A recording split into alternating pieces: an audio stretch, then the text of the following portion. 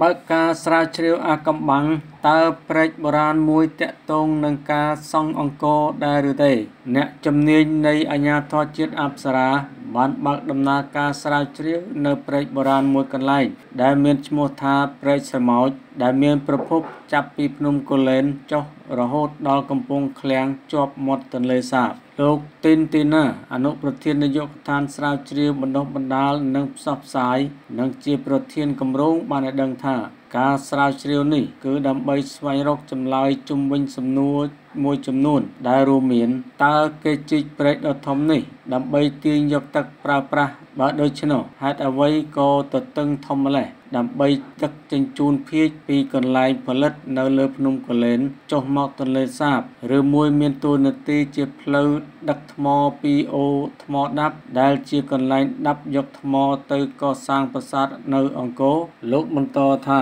នៅក្នុងដំណើរការស្រាវជ្រាវ ក្រុមការងារបានប្រើប្រាស់រូបថតពីលើអាកាស ដែលបានបោះពុំក្នុងឆ្នាំ1941រូបភាពពីលើអាកាសតាមរយៈ Google លោកបានបន្តថាតាមឯកសារដែលជាមូលដ្ឋានព្រែកស្រមោចនេះ វាសណ្ដូកតាមទិសខាងជើងទៅត្បូងចេញពីភូមិសាស្ត្រឃុំកំពង់ឃ្លាំងជាប់មាត់ទន្លេសាប កាត់តាមផ្លូវជាតិលេខ6ត្រង់ភូមិថ្នល់ចែកឃុំដំដែកឡើងទៅដល់ភូមិសំរោងឃុំសំរោងស្រុកសូត្រនិគមលោកបានបន្តថា តាមការស្រាវជ្រាវនៅដំណាក់កាលទី1បានបង្ហាញថាប្រៃជីកនេះលាតសន្ធឹង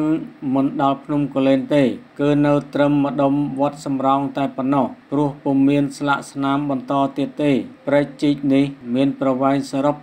23គីឡូម៉ែត្រកន្លែងខ្លះមានទទឹងពី300ម៉ែត្រកន្លែងខ្លះមានទទឹង150ម៉ែត្រនិងមានកម្ពស់ជាង4ម៉ែត្រក្រុមអ្នកស្រាវជ្រាវសន្និដ្ឋានថា ប្រភពទឹកហូរចូលព្រែកនេះអាចមានប្រភពពីរសំខាន់សំខាន់គឺទី1 ប្រភពទឹកពីភ្នំកូលែនស្ថិតនៅខាងជើងវិលរៀបអង្គររួចហូរចូលព្រែកជីកនេះ និងទី2ប្រហែលទឹកឡើងមកពីទន្លេសាបច្រាលចូលក្នុងព្រែកតែអ្នកស្រាវជ្រាវនៅពុំដឹងថាព្រែកជីកដ៏ធំនេះកសាងនៅសម័យណាទេ តែគេអាចសន្និដ្ឋានថាអាចកើតមុនរាជព្រះបាទជ័យវរ្ម័នទី7ឬប្រហែលអាចជាមុននោះយូរផង ក្រោយមក ប្រហែលជាព្រែកជីកនេះ មានដំណើរការរអាក់រអួលនិងខូចខាតដោយអន្លើទៅក្នុងរាជព្រះបាទជ័យវរ្ម័នទី7បានធ្វើផ្លូវមានទាំងស្ពានមួយចំនួន ដែលសពថ្ងៃនេះคล้ายមកជាផ្លូវជាតិលេខ6កាត់ប្រជីក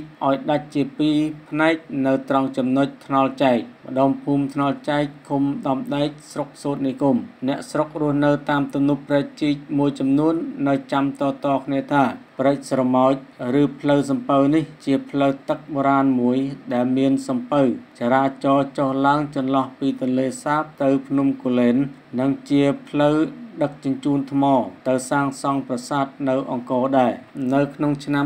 2024នេះក្រុមស្រាវជ្រាវបានបន្តធ្វើកំណាយនៅទីតាំងភូមិថ្មីឃុំកំពង់ឃ្លាំងស្រុកសូត្រនិគមក្នុងបំណងស្វែងយល់បន្ថែមពីព្រែកស្រមោចនិងស្វែងយល់ពីការតាំងទីរបស់ប្រជាជន និងពេលវេលាដែលពួកគេរស់នៅទីនេះ ក្នុងពេលធ្វើកំណាយនេះក្រុមអ្នកស្រាវជ្រាវបានរកឃើញកូឡាលភាជខ្លះៗដូចជាកូឡាលភាជផុយ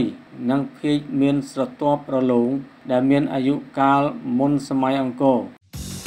Fafa 178វេទិកាកំសាន្តល្អបំផុតប្រចាំតំបន់អាស៊ីមានហ្គេមជាង500ជម្រើសផ្សេងគ្នាក្នុងគណនីតែមួយ